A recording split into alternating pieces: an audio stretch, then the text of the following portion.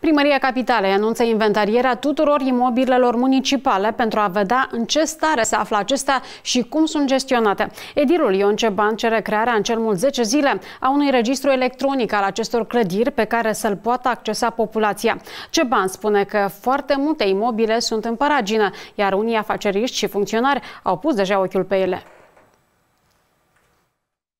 Eu am impresia că cineva intenționat uh, le lasă în asemenea hal pentru a fi, nu știu, eventual cumva înstrăinat.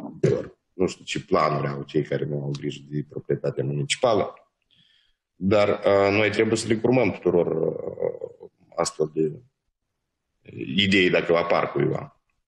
Și eu vă rog foarte mult să uh, nu fie de, din ăștia printre șefii de direcții sau adjuncții acestora sau funcționari care au pus ochiul pe ceva. În momentul în care noi spunem că avem nevoie de bani suplimentari la buget și clădirile care sunt pe străzile și drumurile centrale stau în, într-un dezastru total, atunci nu știu ce să, ce să zic în, în acest sens. Ion Ceban a menționat că trebuie să fie clar care este starea imobilelor din capitală, ca ulterior să fie luate decizii în privința gestionării clădirilor foarte mult în această privință, să avem o claritate cât de curând posibil. Și toate lucrurile trebuie să fie înregistrate electronic și toată lumea trebuie să poată să vadă ce avem ca și proprietăți municipale.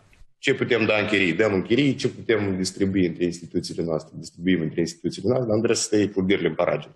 Primarul Capitalei a solicitat maximă responsabilitate din partea responsabililor, mai ales că inventarierea imobilelor municipale trebuia realizată mai de mult. Viceprimarul Inga Ionesi a menționat că este o problemă de realizare a inventarierii în timp, pe motiv că angajații Direcției Generale Economice sunt în autoizolare. Să lucreze de acasă. Dacă nu, atunci va trebui să căutăm modalități cum să-i motivăm suplimentar să plece. Toate proprietățile să fie făcute în registru electronic. Asta este unul. Da, da. Care ar fi problema? Ei trebuie să le aibă. Dacă nu le au, înseamnă că e o problemă. Și e o problemă foarte gravă.